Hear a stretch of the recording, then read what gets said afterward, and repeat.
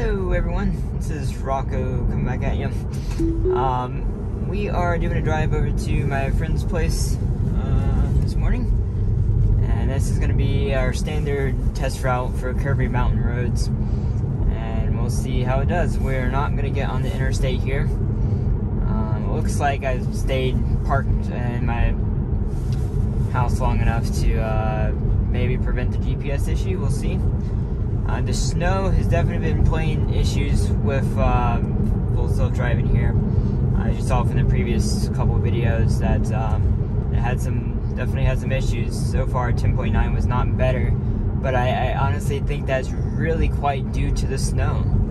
Um, there's a lot of uh, it, it, doesn't look that much different to a human, but um, let's see, I'm gonna have to disengage it before it gets on the highway. It doesn't look a bunch different to a human. There's also ice right here. Um, too much different to a human, but to the car, you got all this white stuff on the side of the road. It looks completely different uh, landscape. got salt covering the lines. The lines are now like faded and all that stuff. And so to the computer, it looks completely different.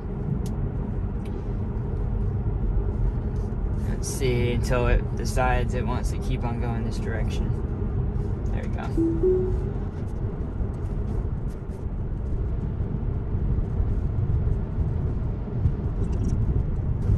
Ooh, okay. So, I guess it thought that car was going to go in my lane.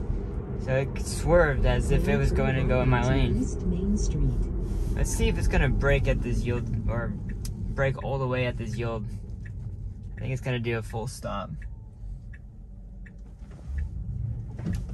Yeah, it did. Come on, car. Come on. I've had to press the accelerator to get to go. And due to the speed limit change, we no longer want it to go 35 mile an hour to coast into the 20 at 35. 25 is fine, um, but it really needs to coast down sooner.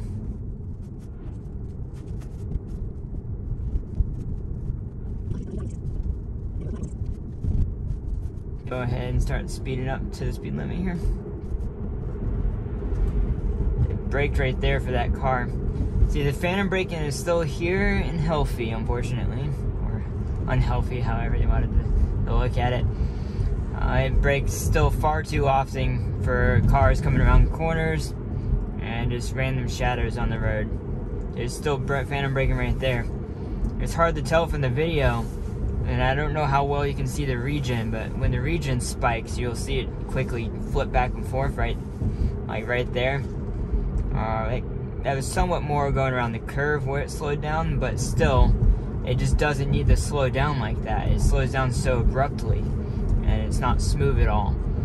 And don't get me wrong that the last like five updates have tremendously improved. Like the 10 updates have tremendously improved the performance around curves. It's actually made it mostly usable. Like I don't really have to press the accelerator very much anymore. But it's still not smooth enough to where like right there, brake for no reason. And now we're going up to the wrong speed because the speed limit is wrong on this road. Um, because of poor map data. I, they really need to just get something enabled like, hey, this person scrolls down the speed every time the speed limit goes up. We don't see a 55 mile an hour speed limit sign.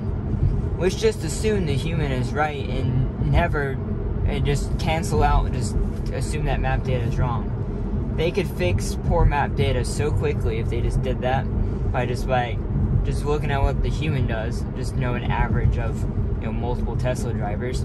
I'm sure I'm not the only Tesla driver that's been on this road. Um, so they can figure out how uh, well it does. Uh, well, it can correct map data from that way. Like it sees a 45 mile an hour speed limit sign, so it knows, hey, we're probably still in a 45 mile an hour speed limit yeah, zone. So there's no reason at all it should be going up to 50. Or sorry, 55.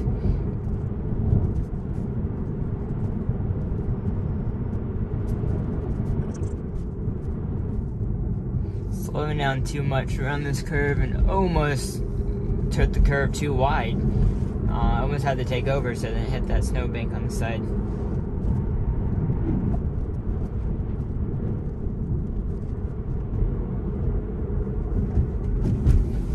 Okay, brake too abruptly going around this curve.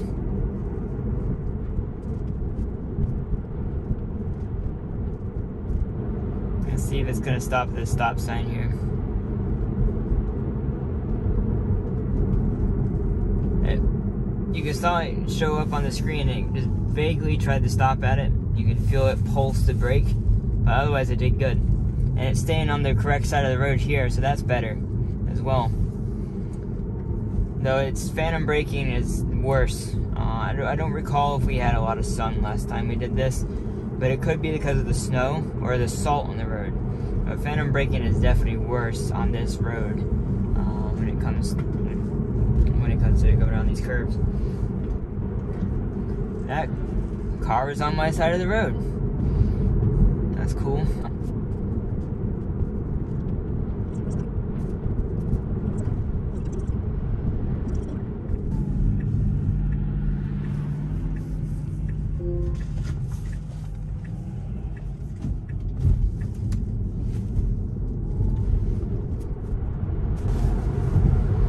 Okay, it seems to have a little bit better acceleration getting onto the highway. At least I didn't notice that it floored it to get onto the highway. It was fast acceleration, but they didn't straight up floor it.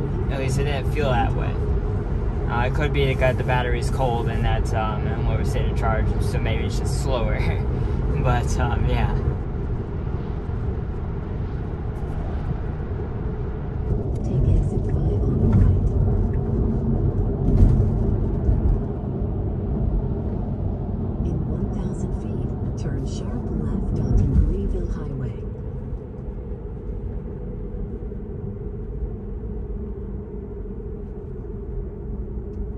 Turn sharp left onto Greenville Highway.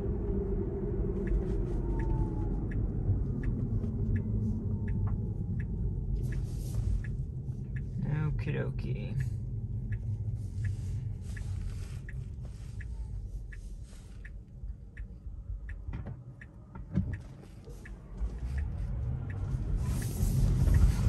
Okay, that was less than ideal. There's a person behind me and they were waiting on me. So I forced to go, and obviously when I do that, it doesn't do it very smoothly. Otherwise, we made it with zero disengagements. Um, it wasn't as smooth as the last time, but zero disengagements nonetheless.